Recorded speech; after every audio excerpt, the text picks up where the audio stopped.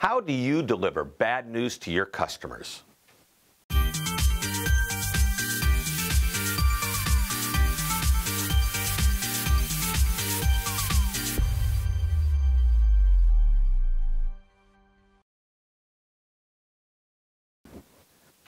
Hi, this is Shep Hyken, customer service and experience expert, and today I'm going to discuss how bad news doesn't always have to translate to a bad experience. Now, it's never fun to share bad news with a customer. Many people are scared to be the bearer of bad news. There are plenty of examples of bad news. An order didn't ship, something was damaged, a, a deadline is not going to be met, and more.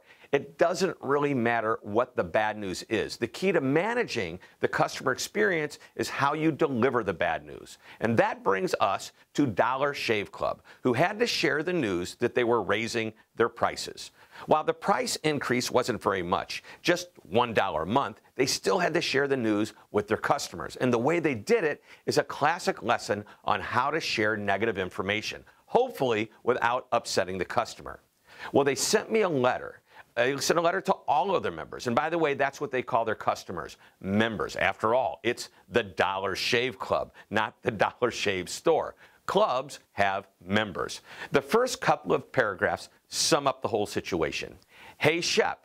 By the way, that's pretty informal, but that's the way they are, and it works with their brand. So, hey, Shep, we're emailing to let you know that as of May 13th, we will be increasing the price of each executive cassette. By the way, cassettes are the little plastic containers that hold four razor blades. They will be increasing the price of each executive cassette by $1. You're currently receiving these cassettes on a once a month basis. We believe in being totally transparent with our members, even if it means delivering some tough news. We know it's a bummer. We don't want to do it. Now, the letter goes on to explain that they haven't raised prices since 2012, and they want to continue to deliver the quality that their members expect. Sure, it's only a dollar increase, but nobody likes to pay more for anything.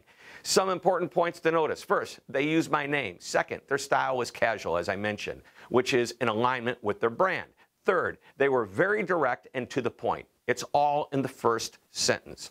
When delivering bad news, you can do it in person through some type of written correspondence, such as an email or a letter. And regardless of how the news is delivered, consider the following steps. Number one, be personal. Number two, be direct. Notice how Dollar Shave Club delivered the news again in the first sentence. Number three, apologize, not because you're at fault, but because you empathize with the customer over the news. Number four, give an explanation, not an excuse. Number five, thank the customer for their past business and for their continued business in the future. And number six, be available if the customer has questions.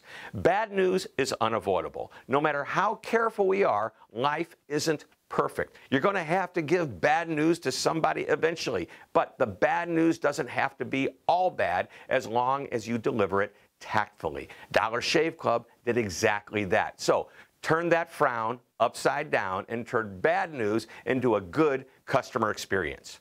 Well, I hope you enjoyed this short lesson. Thank you very much for tuning in. This is Shep Hyken reminding you to always be amazing.